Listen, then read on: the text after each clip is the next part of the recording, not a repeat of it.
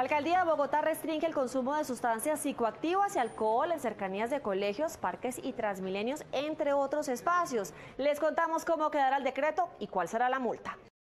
Como recordarán, el martes pasado el Congreso de Veracruz admitió por mayoría calificada remover a Jorge Winkler del cargo de manera temporal. A esto él respondió que se trata de una ilegalidad. La encargada soy yo y todos ustedes están a mi disposición. Fueron las palabras de Verónica Hernández, fiscal provisional de Veracruz, cuando llegó a la dependencia en donde tuvo un tenso debate con los miembros de seguridad que no la dejaban entrar.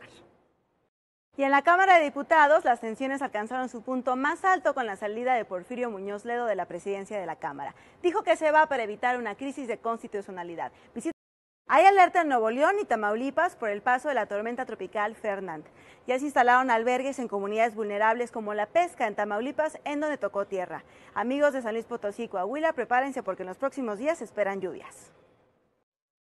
El Metro de Ciudad de México cumple 50 años de servicio con sus fallas, sus aglomeraciones, pero como sea, es uno de los más efectivos y baratos del mundo. Y cada día más de 5 millones de personas. Somos buena gente. Una venezolana en La Guajira usa su talento con la madera para dejar atrás las tristezas de su patria y salir adelante en Colombia. Tragedia por una selfie. Dos amigas pensaron que sería divertido fotografiarse con un rifle, pero este se les disparó. Una de ellas perdió un ojo y le tendrán que reconstruir la nariz. Más detalles deslizando hacia arriba. No deja a su perro ni para trabajar. A esta mujer que se dedica a barrer las calles de Bangkok, su novia le regaló una mascota con la condición de nunca dejarla sola. Y sí que cumplió. Clic abajo para ampliar esta historia.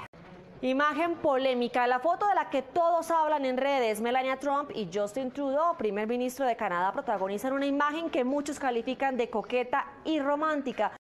Para cerrar, Mérida fue nombrada la segunda ciudad más segura de América, superada solamente por Quebec en Canadá. A nivel mundial ocupa el lugar número 21 de 334.